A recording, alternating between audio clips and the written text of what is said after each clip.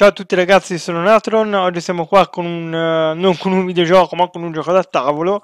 Sì, perché a me oltre ai videogiochi piacciono tantissimo i giochi da tavolo, mi piace sia giocarlo con i eh, miei amici, eh, da solo, mi piacciono i componenti dei giochi da tavolo, mi, piacciono, eh, mi piace il tabellone, le miniature, eh, tutte le varie segnalini, mi piace tutto dei giochi da tavolo. E quindi siccome ho visto che non c'è moltissimo su YouTube Italia, ho deciso di portarvi dei report di questo fantastico gioco. Eh, si chiama Zombicide, è un cooperativo dove i giocatori assumono il ruolo di sopravvissuti in un'apocalisse zombie e devono portare a termine delle missioni con obiettivi differenti cercando di non farsi uccidere dagli zombie che ven- vengono controllati dal sistema stesso del gioco. E secondo me è un gioco molto molto carino e ben fatto perché è ampiamente personalizzabile infatti possiamo fare qualsiasi tipo di, di, di missione ci venga in mente e secondo me è veramente fantastico. Ho deciso di portarvi appunto dei report, di non riprendere l'intera durata della partita perché secondo me riprendere tutta la partita che poi va a durare una, un'ora, un'ora e mezzo o di più, veramente è, è stancante sia per me che ci metto la vita a caricarla, sia per voi che poi andate a, a guardare, insomma, guardare un'ora e mezzo, due ore di video, insomma, sì, può essere piacevole, però secondo me a lungo andare stanca, è stancante. Quindi ho deciso di fare semplicemente delle foto durante il gioco, principalmente a fine turno e qualche volta anche non, e poi di commentarle e spiegarvi turno per turno che cosa è successo. In questo modo potete gustarvi una partita che magari può, può durare un'ora, un'ora e mezzo, in 10 minuti. Questa era la missione, la partita introduttiva del gioco. L'obiettivo è quello di prendere il segnalino in alto. Eh, sulla mappa composta da due tessere abbiamo eh, la zona di generazione zombie in alto, due deambulanti che partono in strada e poi il gruppo che a causa delle regole speciali parte senza armi, ma solo Amy che parte con una padella, perché le altre armi che normalmente sarebbero date in dotazione standard all'inizio di una missione sono poste in cima al mazzo eh, dell'equipaggiamento. Quindi eh, la prima volta che effettuano una sopravvissuto effettua una ricerca, trova proprio l'arma standard che doveva avere all'inizio partita. Inoltre c'è anche un'altra regola speciale che obbligava ehm, a utilizzare soltanto 5-6 ehm, carte del mazzo zombie. Io però, siccome non ho voluto rendere ancora più facile questa partita introduttiva, ho voluto complicarmi la, la vita e ho utilizzato tutto il mazzo zombie invece che quelle 5-6 carte che richiedeva la missione. Bon, quindi direi di partire per vedere un po' come eh, è andata questa prima eh, partita, questo primo report. Primo turno sopravvissuti il gruppo si muove verso la, la porta che eh, poi va a dare sulla strada e eh, tranne Amy tutti effettuano una ricerca.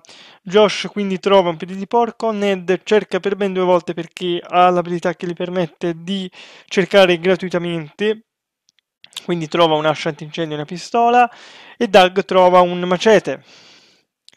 Per primo turno zombie ed ambulanti eh, in strada avanzano verso il gruppo e a fine turno viene generato un solo deambulante. Secondo turno sopravvissuti Josh sfonda la porta e Ned apre il fuoco eh, nella zona davanti cercando di uccidere il deambulante ma non ci riesce quindi Doug si fa coraggio, ehm, entra nella zona del demulante, lo attacca e lo fa fuori. Poi Amy ehm, e eh, Josh eh, avanzano mentre Ned, avendo già esaurito i suoi tutte le sue azioni, rimane indietro. Secondo turno zombie deambulanti avanzano verso il gruppo e ehm, uno entra in linea di vista con Amy mentre eh, a fine turno viene generato un solo deambulante. Terzo turno sopravvissuti, Amy prova ad ingaggiare il deambulante davanti ma non riesce a ucciderlo quindi rientra nella zona di partenza e viene raggiunta da Josh e da Doug anche Ned si muove ma non raggiunge la stessa zona del gruppo terzo turno zombie il deambulante davanti all'edificio bersaglio entra nella zona del gruppo ma non riesce ad attaccarli mentre gli altri avanzano normalmente di una zona a fine turno poi viene generato un altro deambulante.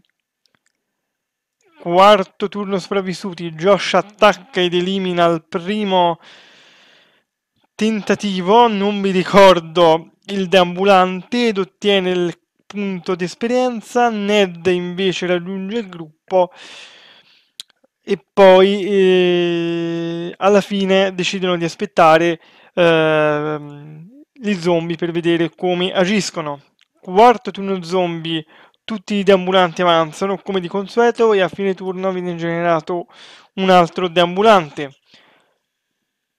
Quinto turno sopravvissuti, Ned spara nella zona avanti al gruppo, elimina lo zombie, avanza e spara anche all'altro zombie ma non riesce ad ucciderlo. Josh in questo caso eh, avanza, sfonda la porta e per fortuna, per mia fortuna, vengono perché sto giocando da solo, ragazzi. Cioè, queste sono per ora partite che sto facendo eh, da solo, visto che un gioco si può anche eh, giocare eh, da solo. Josh, eh, stavo dicendo, sfonda quindi la porta e per mia fortuna viene generato un solo eh, corridore in tutto l'edificio, mentre Amy e Doug eh, raggiungono i due compagni. Quinto turno zombie, il corridore e gli ambulanti entrano nella zona del gruppo, gli, alt- gli altri ambulanti avanzano e anche a- in questo turno viene generato un altro deambulante.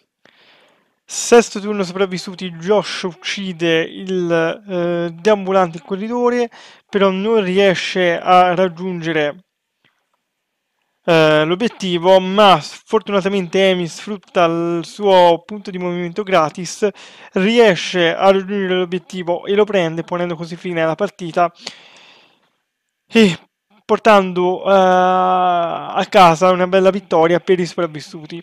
Questo era il mio primo report, spero comunque che vi sia piaciuto, poi ne farò ovviamente altri e quindi ci vediamo a un prossimo video. Ciao!